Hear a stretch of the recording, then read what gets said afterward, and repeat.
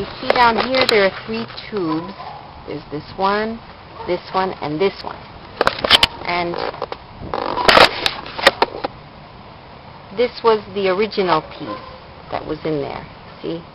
And this, where this hole is, that was another thing sticking out. And it broke off. I was told by the guy at the repair shop that it's probably from, I mean, it's five years old, this car. Five years of constant vibrating, eventually, since this is made of plastic, that eventually breaks off. So apparently last summer, that's what was happening. It had already begun to break a little bit, and it was leaking slightly, and I hadn't noticed it. So now I have this metal one that I'm going to install now.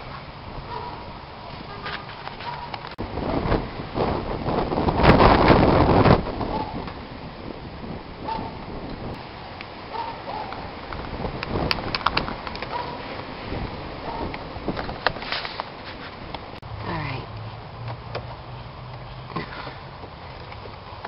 Now I'll loosen that a bit.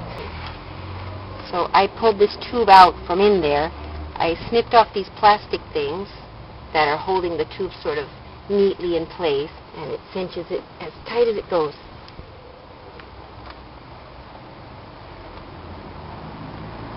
So when I finish installing the whole thing, I'll go ahead and put those plastic, I'll get some new plastic things, because those I had to cut.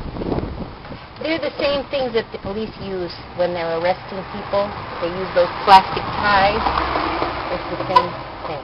And I had to take out this entire hose, actually. I had to unscrew it from the other end, because this hose, since the plastic had broken off and corroded, the plastic was stuck inside this tube. The other end was here.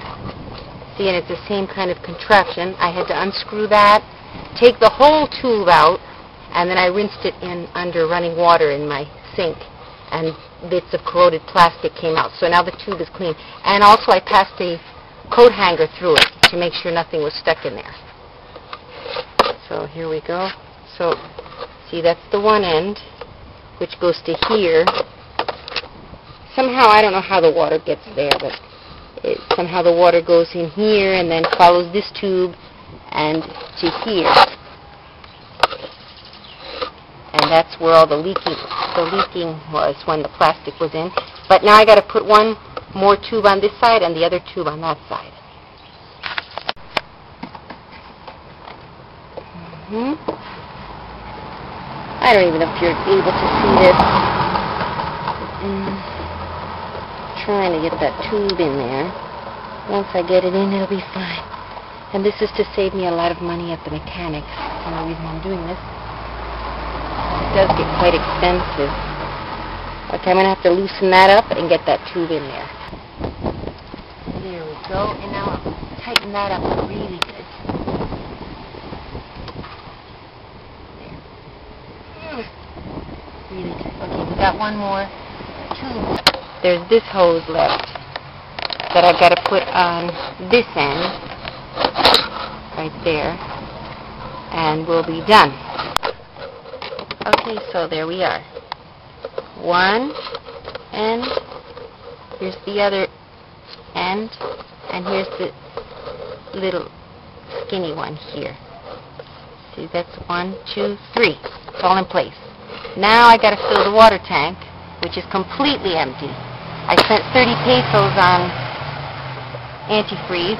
So I've learned this year through all of your nice mails that you've sent to me in, in varying degrees of that uh, antifreeze, you know, is good to put in there. Antifreeze or refrigerant in here. I also put distilled water in there too. Then we have this cover, which apparently at some point broke. Why again, vibration and plastic don't really go well together.